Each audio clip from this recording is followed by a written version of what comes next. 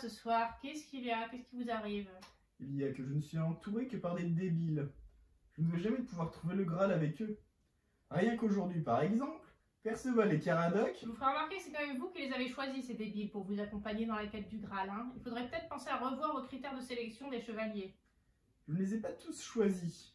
Il y en a quelques-uns pour lesquels je n'ai pas eu le choix. Bonsoir. Vous pouvez pas frapper à la porte comme tout le monde? Qu'est-ce qui se passe? Je vous écoutais discuter et j'ai eu une idée. C'est encore la Dame du Lac? J'ai pensé à un jeu qui permettrait de tester l'intelligence de vos chevaliers. C'est un jeu de stratégie militaire où il faut conquérir et défendre des territoires en faisant des prisonniers. Ça s'appelle le jeu de Go.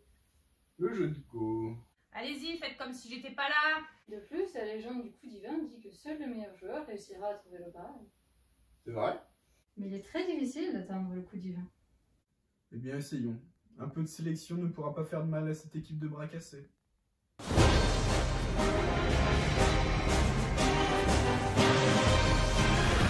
Je vous ai réunis aujourd'hui car nous allons organiser un grand tournoi de Go afin d'évaluer les compétences des futurs chevaliers de la table ronde. La Dame du Lac m'est apparue cette nuit et elle m'a dit que seuls les meilleurs joueurs de Go pourront trouver le Graal. Le go? Qu'est-ce que c'est que ce délire? Deux joueurs s'affrontent sur un plateau. Chacun à leur tour, les deux adversaires posent une pierre de leur couleur sur les intersections. Les intersections, c'est qu'on chope la pierre avant qu'elle tombe sur le plateau. C'est fou. Mais on fait quoi dans les cases là? Mais on fait rien dans les cases. On a dit qu'on jouait sur les intersections. Quoi? Vous voulez dire qu'on a dessiné toutes ces cases pour rien? C'est n'importe quoi ce jeu. Nous, au Carmélide, on joue les chevaliers à la guerre. Et puis une bonne guerre, il y a que ça pour la sélection naturelle. Sire, c'est une merveilleuse idée. Enfin, une façon pacifique de régler les choses plutôt que ces jeux de barbares. Non mais sire, sans aller jusqu'à la guerre, c'est vrai qu'il faut des épreuves physiques pour départager les chevaliers. Effectivement, ça existe. Ça s'appelle le goathlon. L'idée, c'est de placer la pendule à une dizaine de mètres et on fait des parties courtes. Donc, du coup, les deux joueurs doivent courir entre le plateau et la pendule. J'ai pas bien compris, on la pose où sur le plateau là, pendule? Normalement, dans une partie de Go, on la place à côté du plateau et c'est le joueur blanc qui décide si on la met à gauche ou à droite.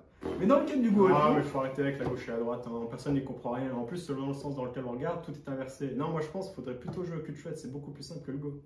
Le cul de chouette, c'est pas compliqué. C'est un jeu qui vient du pays de Galles qui se joue en 343 points. D'abord, on jette les chouettes, ensuite, on jette le cul. Ensuite, on regarde la valeur des dés pour calculer le nombre de points. L'important, c'est les valeurs. Une chouette, ça rapporte le carré de la valeur de la chouette. Voilà. Et au moins, quand il explique un truc, on comprend. Sire, on va pas juger l'intelligence des chevaliers sur un jeu de hasard. de toute façon, la Dame du Lac a dit que seuls les meilleurs joueurs de Go pourront trouver le Graal. Donc, nous jouerons au jeu de Go. Un peu au cul de chouette pour se détendre. Ouais.